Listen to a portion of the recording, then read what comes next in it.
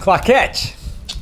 Sou eu sempre que começo aqui o vídeo apresentando um vídeo didático científico, uma receita, etc. Mas hoje eu vou começar entrevistando, na verdade, um bate-papo com a Milena, com o Adriano e comigo, enquanto a gente come uma deliciosa torta de maçã que já tem aqui no canal ensinada e a gente conversa sobre como é a influência de uma dieta de frutos e vegetais, como é trabalhar com meu, comigo comendo fruta aqui numa casa que não tem fogão, né? A Milena sempre com medo de eu, de eu ser a polícia nutricional terrorista.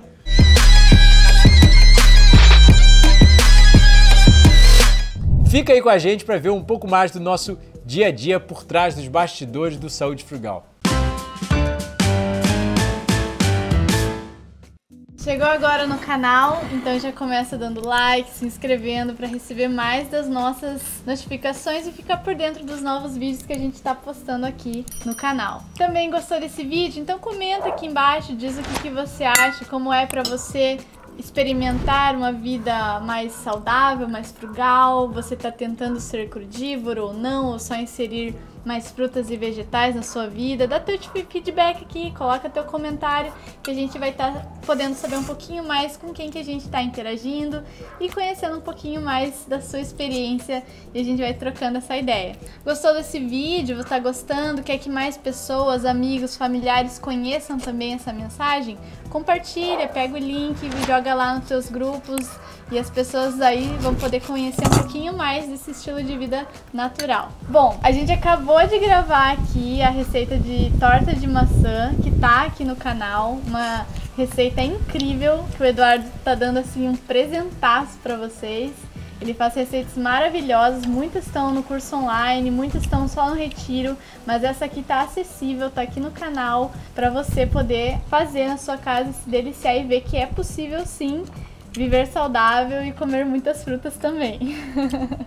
e agora a gente tá aqui pra degustar, né, do, né, Adriano? É, aqui a gente estamos aprendendo como se comer uma comida saudável, como sentir o gosto de ser saudável na vida. Porque tem coisas que a gente para e analisar na vida. Ah, não, não consigo ser saudável, não consigo ser igual você. Não. Simples. Simples ir na feira, comprar as coisas certas, frutas certas e começa a, a comendo elas de manhã, de tarde. Ou se não tem hábito de comer fruta, passa a comer fruta e passa a ter um bom alimentar. E você vai, não vai se arrepender. Bom, se vocês acompanham o canal, vocês sabem que eu já sou frugívoro quase há 14 anos. Eu fui muito doente. E depois que você descobre a solução para todos os problemas do mundo, pelo menos na minha cabeça eu acredito que é, e tem muito dado científico para mostrar que uma fruticultura, uma dieta rica em frutos e vegetais, uma dieta, um estilo de vida mais natural seria uma coisa muito benéfica para todos nós. Então, o meu maior prazer na vida é realmente incentivar as pessoas a refletir seus hábitos e ter um estilo de vida mais saudável. A Miliana é muito engraçado porque a gente acabou se conhecendo em Portugal há cinco anos atrás, né? O jeito que a gente acabou se conhecendo foi numa palestra. Eu estava palestrando em uma casa de eventos e ela acabou assistindo a palestra sem querer e adorou o conceito e saiu de lá querendo viver de comida crua. Não viveu de comida crua logo depois, mas eu acho que foi extremamente impactada e começou desde lá a sempre refletir mais. E aí, através do Kel, a gente acabou se conhecendo. Ela fez alguns trabalhos de edição pro Kel e ela trabalhava já na, na área. Eu precisava de alguém para trabalhar comigo e ela acabou vindo trabalhar dois anos atrás no primeiro documentário, depois no segundo documentário, que foi o documentário de jejum, e agora trabalhando fixo aqui a maior parte do ano. A ideia é a gente manter, já que uh, eu tô focado realmente agora no canal. Bom, o Adriano fazia às vezes trabalhos para minha mãe. Eu precisava de alguém para trabalhar no retiro, precisava de alguém para me ajudar aqui comigo no espaço como um todo, etc. Ele é fenomenal na enxada, sabe trabalhar com plantio, sabe trabalhar com horta muito bem, entre outras coisas. Então, ele até me ajuda a gravar alguns vídeos de vez em quando, né?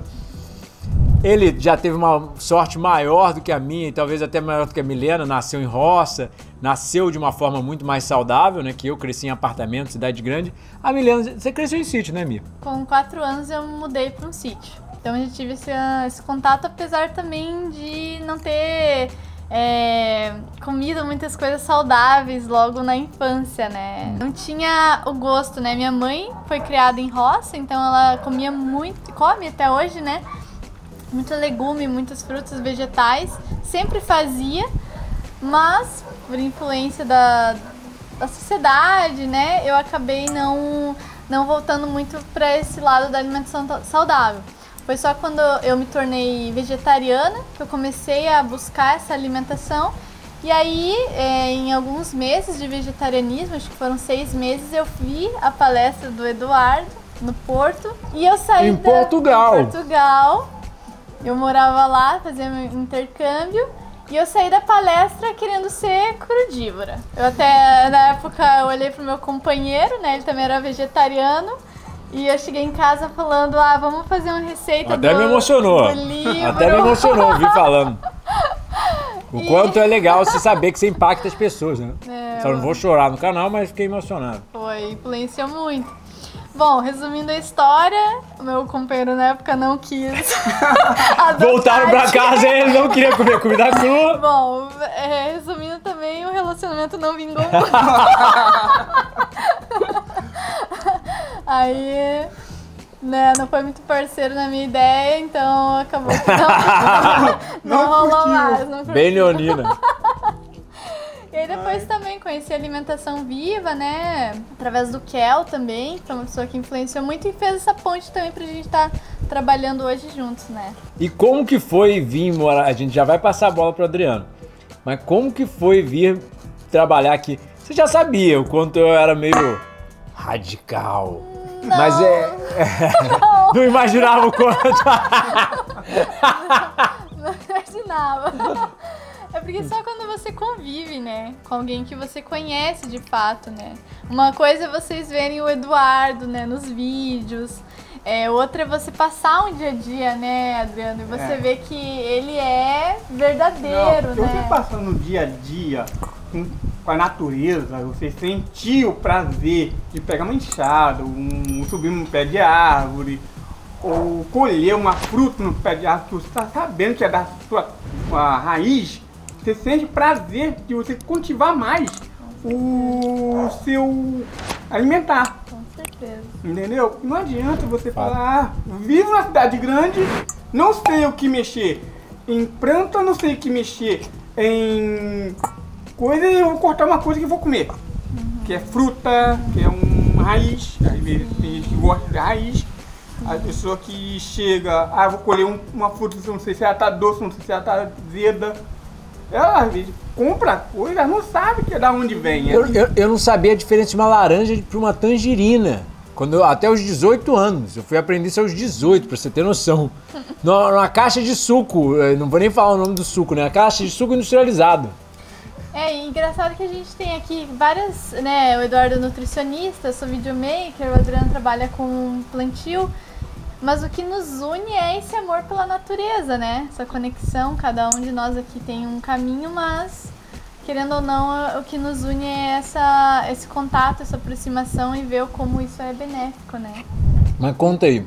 Bom, eh, Como que foi mudar pra uma casa sem fogão por um mês, depois agora...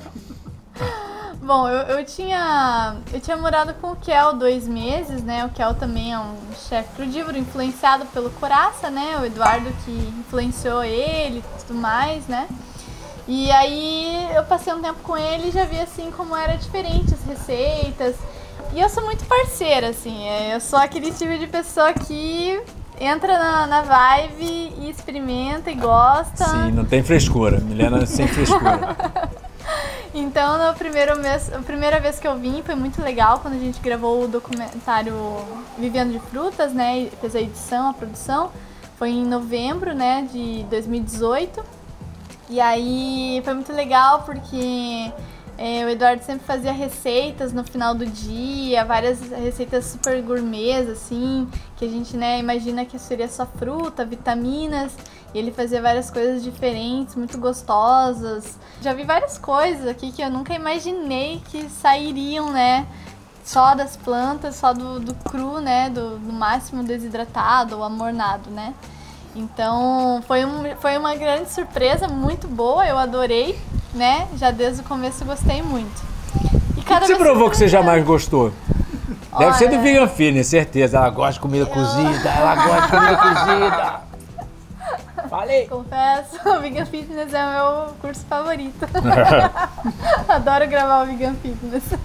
O Vegan Fitness é meu, un- meu único curso no vapor, pessoal. Abri a sessão há uns três anos atrás para fazer isso, para auxiliar a transição. Eu realmente vivo sem comida cozida, sem preocupação alguma. É gostoso?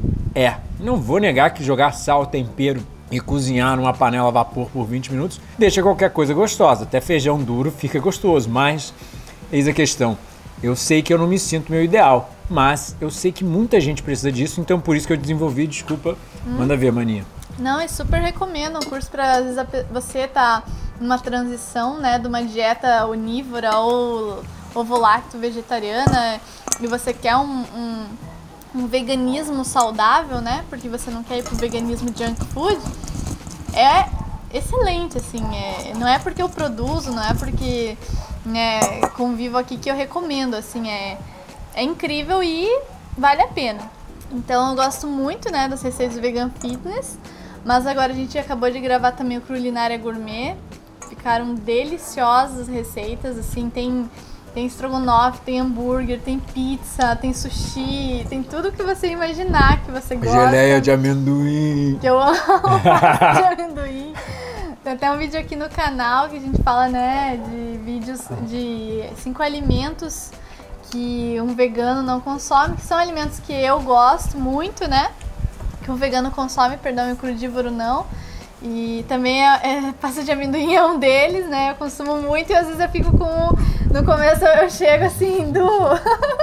Então, pasta de amendoim, né? Torrado. Tem as toxinas. Foi né? daí que surgiu Reação o de vídeo, né? Maillard, né? A gente sabe de tudo isso. Já tá sabendo a ciência aí, ó. Já, já tá sabendo. Hoje, hoje a gente tava conversando. galera. Mas assim, uma colherzinha por dia, será que dá pra abrir uma exceção? e aí eu peço pro Eduardo se eu posso trazer aqui na cozinha dele, né? E, e eu na minha cabeça, ele era o general e ia falar que não! não vai mais trabalhar pra mim! E não, ele é super de boa, gente. Calma. Ele é muito fixo, assim, come. É isso aqui é a alimentação dele. Não é, ele não desliga a câmera e vai lá. Não. Não, não. Olha, vou chorar, vou chorar, vou chorar. Ele é muito verdadeiro. Isso vocês podem confiar que ele é muito íntegro na, na filosofia dele. E ao mesmo tempo ele deixa livre, né? Quem não segue, ele instrui, mostra, né, cientificamente por que, que aquilo talvez não seja tão bom para nossa saúde, mas ao mesmo tempo super respeita. Isso é muito bom e eu acho que é isso que faz fluir a conexão também pessoal e profissional. Pessoal, já provaram, já viram é, banana Santomé? Acabamos de colher banana Santomé tem umas duas semanas, né, mais ou menos. E aí, vamos compartilhar as primeiras bananas Santomé aqui do espaço. Bom apetite. Primeira vez que eu como banana São Tomé. Banana roxa ou banana vermelha, né? Ela é meio roxa, meio vermelha, não sei Todo dizer. mundo chama ela de banana santomé mesmo. Nasceu sem agrotóxico, sem nada. Tá deliciosa. Chama os cachorros. Nossa, é muito saborosa, tem um sabor bem Acentuado, né? acentuado, intenso. Ó, gente, até marimbondo quer comer, tá vendo? É, até, o, até o marimbondo sabe que é bom. Nossa, com uma pasta de amendoim. Brincadeira, brincadeira. Como é?